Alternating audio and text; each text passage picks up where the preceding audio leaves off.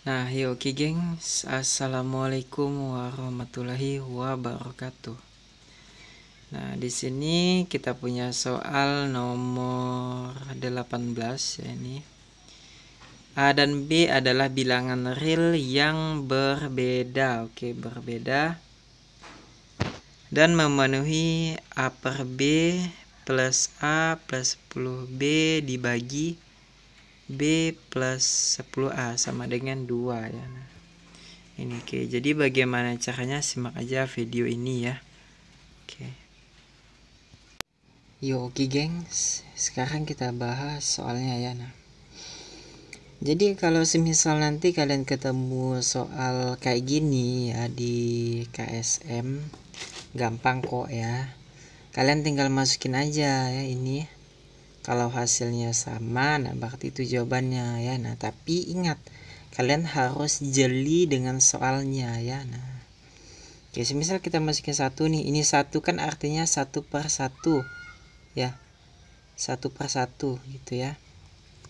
Kita masukin ke sini a nya satu b nya satu.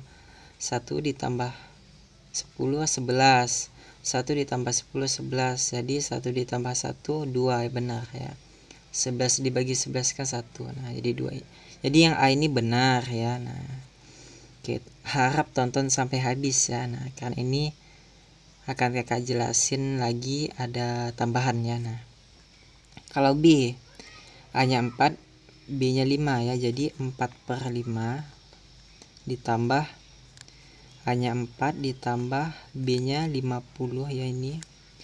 Lalu 5 ditambah 40 ya hanya kan 4 nah jadi ini ya kita jadikan 4 per 5 ditambah 54 per 45 ya. Nah ini kita buat sama ya penyebutnya. Ini dikali 9 jadi 45 dikali 9 jadi 36 36 oke. Okay. 36 ditambah 54 90 ya nah per 45 nah 90 per 45 itu sama juga dengan 2 ya. Nah A nya dapat 2 juga B nya dapat 2 juga. Ayo yang mana jawabannya ya.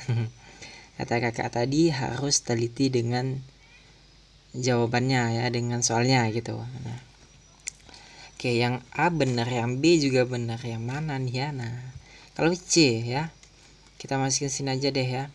5 per 4 ya. Nah 5 per 4 agak sulit ya. Kita gini aja deh. 5 per 4 langsung aja. 5 ditambah 40 45 oke.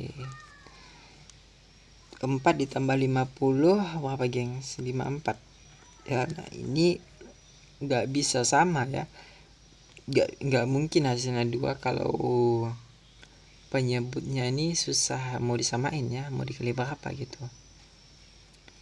Kali 14 nggak bisa juga ya. Jadi ini nggak mungkin hasilnya dua ya nggak mungkin.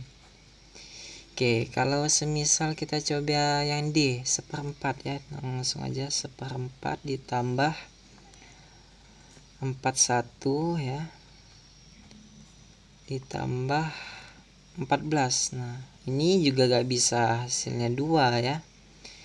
Gak mungkin ya penyebutnya aja udah susah disamain gitu. Kalau misalkan yang E 1 per 5 oke coba deh ya. 1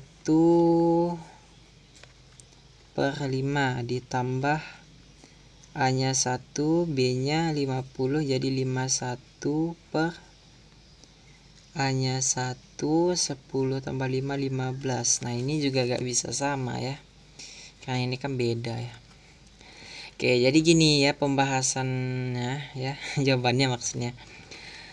Kalian harus teliti dengan soalnya. Coba kita lihat soalnya berikut ini ya. Nah, di soalnya ini kan kalian bisa lihat nilai X bilangan real ya. Nah, namun berbeda ya. Lihat di situ berbeda. Nah, jadi kesimpulannya di sini jawabannya yang B. ya kalau A ini kan satu per satu A nya satu B nya satu ini kan sama bukan berbeda ya gitu paham gengs ya jadi kalau KSM ini kelihatannya aja yang mudah ya tapi kadang bisa membuat kalian kejebak ya jadi intinya hati-hati nanti kalau mau KSM ya bersabar gitu Oke, terima kasih geng setelah menonton video ini. Semoga kalian paham ya. Oke, see you again next time. Bye.